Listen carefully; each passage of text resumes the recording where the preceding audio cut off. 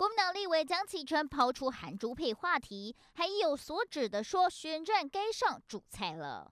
很多人会认为说，我这个是不是在讲韩猪配啊？其实我要讲的是啊，韩猪合作。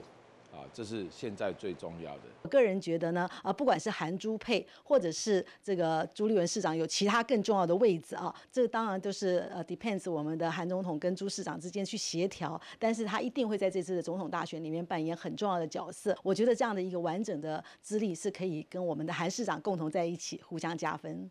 韩国瑜加朱立伦是国民党的最佳主菜吗？很多人赞声不断，包括市长卢秀燕、张立善、立委柯志恩、市议员叶元之等都在脸书赞虾。至于被点名的朱立伦，则是以农历七月结束，鬼门已关，希望一切能回归正常，大家都能以大局为重。更说成功不必在我，但成功一定有我。透露韩朱配不无可能。朱立伦跟 C I 也很好，不会啊，差不多差不多了，没有加温也没有扣温的，大概就这样。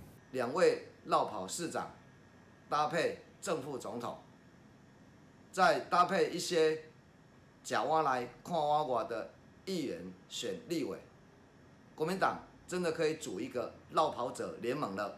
韩朱佩能否替韩国瑜选情加温？绿营跟柯文哲阵营隔岸观战。接下来韩朱也可能在九月八号同框，能否发挥一加一大于二的力量，力抗参选态势明朗的郭台铭跟寻求连任的蔡英文？国民党已经没有最十分的空间。欢迎需要洪世成、王家杰、李佳桦台北、台中报道。